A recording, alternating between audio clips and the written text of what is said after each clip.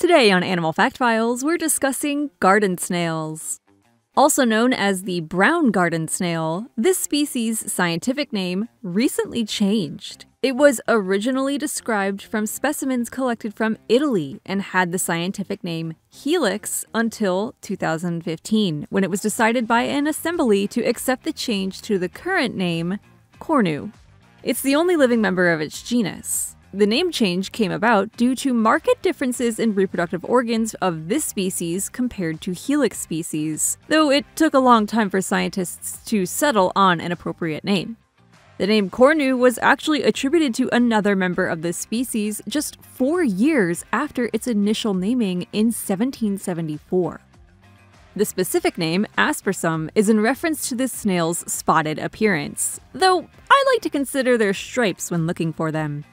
They come in colors ranging from brown to yellow and often sport long stripes along the back of their shell, like racing stripes on a car.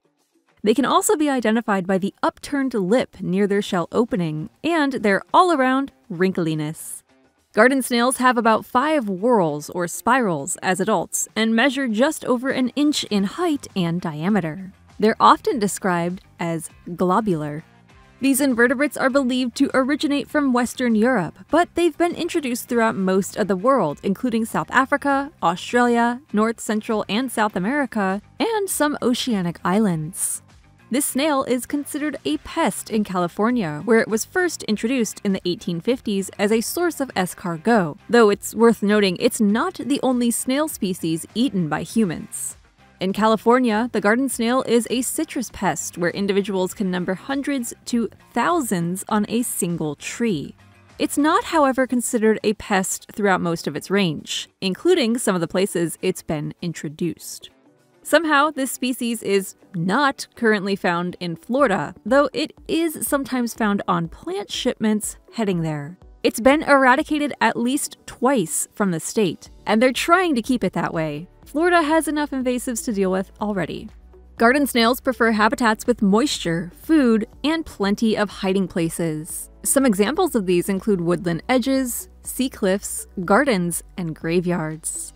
They're generally nocturnal but come out when it's raining, which is when they're most likely to be spotted by humans. These invertebrates typically need a source of calcium in their environment to promote shell growth, and this is often found in the plant material they eat.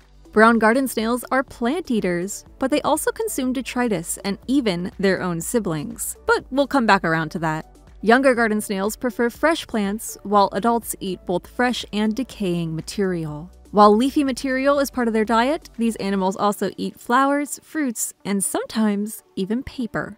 Besides humans, garden snails are eaten by mammals like shrews and boars, reptiles like turtles, amphibians like frogs and salamanders, birds like ducks and thrushes, and other invertebrates such as spiders and centipedes. Like other land snails, they have a hard shell for protection against these threats. This shell typically spirals to the right, which is known as dextral.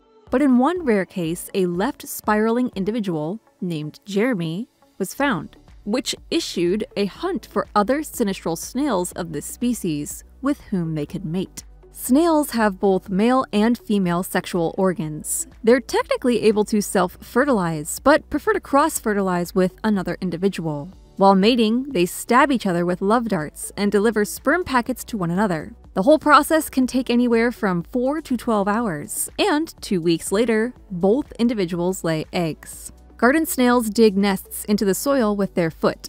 That's the squishy part they glide around on using self produced mucus. Their egg chambers can be over two and a half inches deep. Inside, a few dozen to over a hundred eggs are laid in a cluster and covered by that same sticky mucus produced by the glands on the parent's foot. The eggs are further covered with soil and even the adult's feces. The eggs remain in the soil from 2 to 6 weeks, depending on the surrounding temperature. They then hatch asynchronously, or not at the same time. The first meal for many garden snail babies are the unhatched eggs of their siblings. They get over this oophagous phase pretty quickly, however, and move to fresh plant material instead. When it's newly hatched, the baby snail's shell is unpigmented and translucent but it quickly grows and gains color. It takes about two years for a garden snail to reach reproductive maturity, though temperature can also impact this. During the winter, They hibernate. Did you know snails do this?